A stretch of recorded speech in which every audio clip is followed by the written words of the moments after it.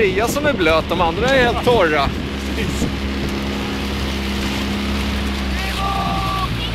Okej, här kommer ett möte.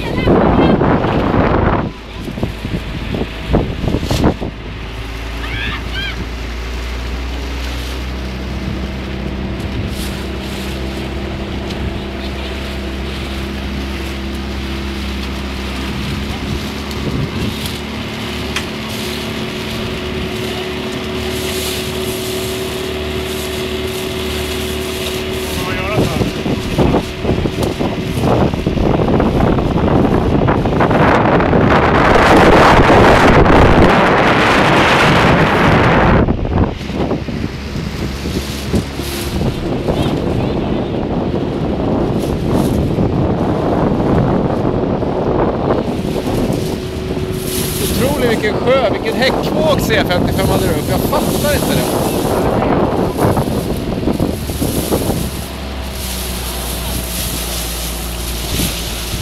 Hur känns det jämfört med CB'n då?